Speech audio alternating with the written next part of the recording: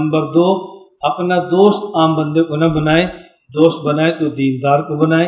दोस्त बनाए तो अच्छे आदमी को बनाए।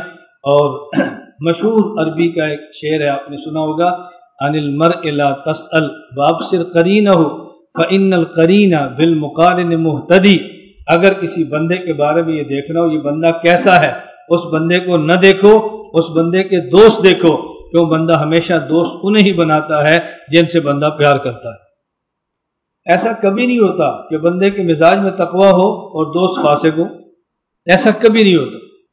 ऐसा कभी नहीं होता जैसा बंदा खुद होता है। ऐसे ही उस बंदे के दोस्त होते हैं और ऐसे ही उसके चाहने वाले होते हैं। मैं बहुत सारी बातें ऐसी सुनाता रहता हूँ कि बाद शादी को ताजुब भी होता है कि मौलाना साहब ने कैसी बात कह दी है। ये इल्मी लताइफ तो चलते हैं। हमारे घर में भी चलते हैं, बाहर भी चलते हैं, आपसे भी चलते हैं। मुझे ये बात, इस बात पर याद आई कि जैसा बंदा खुद होता है वैसे उसके दोस्त होते हैं।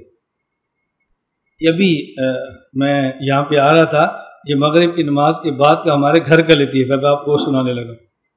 मैंने भी अबाबीन पढ़े अबाबीन के बाद आना था तो मैंने घर वालों से कहा पानी लाओ। वो ठंडा पानी लाए। मैंने चार कात पढ़े तभी दो रकात पढ़ने थे। जब मैंने सलाम फेरा तो उसमें मेरी घरवाली ने थोड़ा सा पानी पी लिया। बीवी खामद का ताल्लुक ऐसा होता है। मैं जब पानी पीने लगा तो उन्होंने पानी तो पिया था तो मुझे फट उन्होंने कहा कि मोमिन के जूते में शिफा होती है। मतलब यह था कि मेरा जूता लेकिन इसमें शिफा है। मैंने आगे मज़ाक में कह दिया, मैंने कहा, मोमिन हो तो तब है ना? उसने जवाब कह दिया, जवाब सुनने वाला। उसने कहा, जैसे आप हैं, वैसे ही हम हैं। अत ये बात तयबीन अगर आप ठीक मोमिन हैं तो हम भी ठीक है। अगर आप ठीक नहीं तो हम भी ठीक नहीं। अब ये घरों में तब होता है जब घरों में इल्मी जौक हो। इल्मी जौक हो तो फिर लताइफ बाहर से नहीं, घर से इल्मी लतीफ़े फूटते इल्मी लताइफ और मुस्तकिल किताबें लिखी पड़ी हैं। मैं खैर ये बात अर्ज़ कर रहा था, अब देखो इल्मी जौक हो ना तो बात कैसे लतीफ़े बनती है? और जब इल्मी जौक ना हो तो उसको आदमी जौक कहाँ से पैदा करे? और बहुत सारे ऐसे इल्मी लताइफ होते हैं कि सामने अगर बाजौक ना, उसको लतीफ़ा समझ नहीं आता फिर लतीफ़ा समझाने की तशरी करने पड़े तो बंदे का दिल ही टूट जाता है। इसको क्या समझाए? बंदा इसको क्या समझाए? लताफ़ इल्मिया में इबन जौजी ने एक वाक़ लिखा। कहते घर में शादी थी और घर वालों ने पाबंदी लगाई जो मस्तूरात का जगह है खाना खाने के लिए, वहाँ मर्द कोई ना जाए। पाबंदी थी। तो हर शादी में कुछ लोग तो फैले होते हैं, बगैर बिन बुलाए आते हैं, जहाँ शादी वहाँ खाने के लिए पहुँच गए।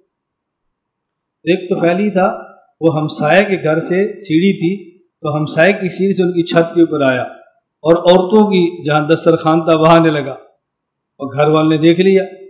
उसने पकड़ा, बस तुझे नज़र नहीं आता क्या क्या औरतें हैं और हमने मना किया कि खुवान के दस्तरखान पर मर्द ना है उसने कहा, लक़द आलिम तमालना फ़ी बनात का मिन हक। अब ये तुम्हें समझ आए ना जौक को, फिर लतीफ़े का मज़ा आता है ना। वरना लतीफ़ा सुनाना खुद लतीफ़ा बन जाता है। ये खुद लतीफ़ा बन जाता है। उसने कुरान की आयत क्या पढ़ी? लूत सलाम अल्लाह के नबी थी और उनकी कौम में बीमारी थी मर्दों से बदफेली करने की। अल्लाह ने अजाब देना था तो फरिश्ते भेजे और खूबसूरत मर्दों की शक्ल में आए। और वो उनकी कौम बद किरदार थी, वो उनकी तरफ़ दौड़ी। तो लोत इस्लाम ने फरमाया, हाउलाए बेटी हाउलाए बनात ना थोड़ लगो। अगर तुमने अपनी ख्वाहिश पूरी करनी है तो सारी मुसलमान कलमा की औरतें मेरी बेटियाँ निकाह करो तो अपनी ख्वाहिश पूरा करो। ये मर्दों की तरफ़ क्यों दौड़ते हो? तो उनकी कौम ने कहा था लक़द आलिम तमालना फ़ी बनात मेरा लोग तो जानता है कि हम तेरी लड़कियों के लिए नहीं आए। वो तो उन्होंने एक बात की थी ना, लेकिन तो फैली ने वही इल्मी बात की लखाद अलम तमाल नाफी बनात के मैंने हक। हमें तुम्हारी बेटी से गर्द नहीं है, हमने खाना खाना है अब माना समझ आया? उनने कहा, हमें तुम्हारी मस्तूरात से गर्द नहीं है, हम तो फैली लोग अभी खाना खाना है। तुम छत को वो तुम यहीं से खा के निकल जाएँगे। लतीफ़ा सुनाने के लिए भी सामे का शौक होना बहुत ज़रूरी है। ये लतीफ़ा सुनाना, ये खुद लतीफ़ा बन जाता है और बंदे को सुनाकर भी साफ़ होता है कि मैं लतीफ़ा क्यों सुनाया? खुद बंदे को शर्म आती कि मैं लतीफ़ा क्यों सुनाया? खैर, मैं अर्ज़ कर रहा था, अल्लाह ताला हम सबको विलायत खासा ता फरमाए और विलायत खासा मिलती है तकवा और गुनाहों के छोड़ने से। मैं भी तोबा करता हूँ और आपको गवाह बनाकर करता हूँ। और आप भी तोबा करें कि या अल्लाह जितने हमने गुनाह किए अपने कर्म से माफ़ फरमा।